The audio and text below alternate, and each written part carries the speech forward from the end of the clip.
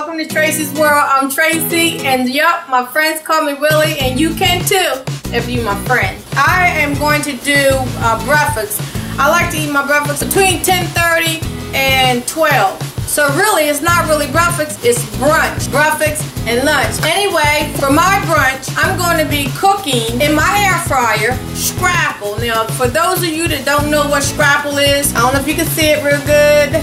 Scrapple is a southern uh, delicacy. It is pork, so for you guys that don't eat pork, I'm sorry. I guess you have to live around here and be born and raised on scrapple in order to like it. So anyway, I'm gonna cook this in my air fryer. I also have a taste for some corned beef. So I'm gonna fix this corned beef. It's not corned beef hash. This is just corned beef.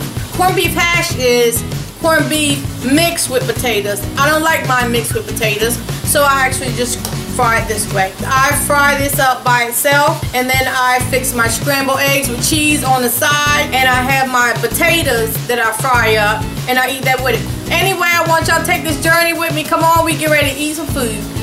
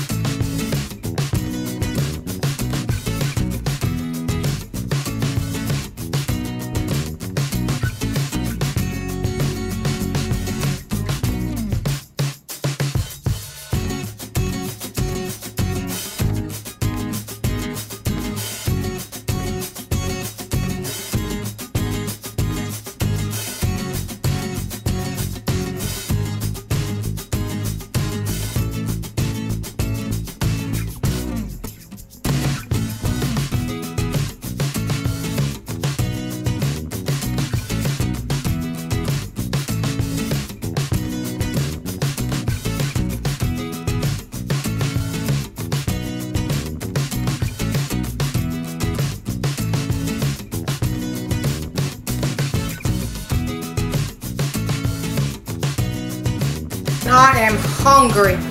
I have my scrapple right here, my potatoes, my uh, corned beef, my eggs. Always like to have my coffee. That's good and hot too.